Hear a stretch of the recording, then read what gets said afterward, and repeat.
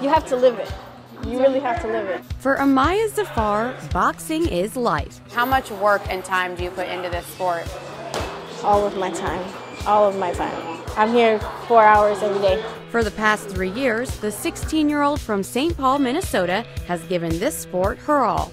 You have to be hungry for it. You have to want it, like really, really, really want it. And the moment I walked into a boxing gym, that was, I was in love, in love. It was love at first sight for Amaiya, but when it comes to her amateur boxing career, well, she's still waiting for her fairy tale ending. And I haven't actually fought, so I don't know what it's like to have that that moment where it's all on me.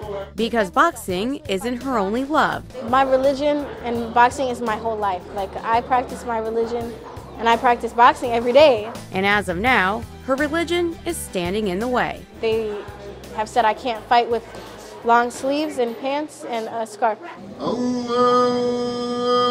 The Muslim teen follows a traditional dress code some women follow, which consists of veiling or covering the entire body except the face, hands, and feet. And the scarf she wears on her head is called a hijab. To me, it's like my crown. It's my way of saying I'm a Muslim. I need to wear that for my religion. I'm, I'm not willing to go without it. And because of that, they haven't let me fight. According to the International Boxing Association and USA Boxing Rulebook, boxers must wear a sleeveless athletic shirt and a pair of loose fitting trunks that reach halfway down the thigh, no lower than the knees. Boxers are not permitted to wear additional apparel other than the competition uniform into the ring. Something she disagrees with and considers to be a jab to not only her religion, but freedom.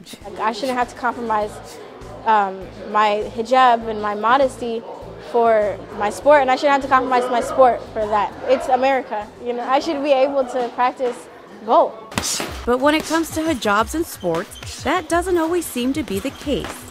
In fact, the International Basketball Federation, the International Volleyball Federation, and the International Swimming Federation all have regulations that prevent or significantly limit an athlete's ability to compete if they wear a hijab or cover their bodies.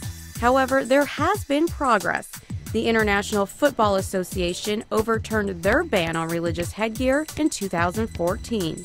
And advocacy groups like Shirzanan are currently fighting the hijab ban in basketball. This rule had been in place for maybe 20 years uh, before Muslim females were widely playing the game. Why does this need to change, and not only for basketball, but for all sports? Well, number one, as it's written in the Olympic Charter, that the practice of sport is a human right. Shirzanan, which means female heroes in Persian, works to advance Muslim women's rights in sports and media. And now they're fighting for Amaiya, too. I just contacted her. We're trying to determine how to implement a standard uniform that's acceptable to, for all observant Muslims to wear. Making her their youngest ambassador alongside other trailblazers just like herself. To me, that makes it feel really real that I might, you know, I am a trailblazer. I am working to get things changed. Last November, at the Sugar Bert Boxing National Championships in Kissimmee, Florida, what appeared to be another defeat turned out to be a victory in disguise. So when we went to Florida and they disqualified me, the girl I was going to compete with, when they disqualified me, she gave me the belt.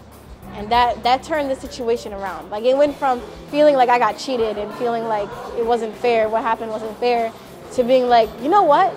It wasn't, but we're gonna change it. Like I have people that are standing with me. Standing with her, and for some, even looking up to her. Come on, push through, let's go.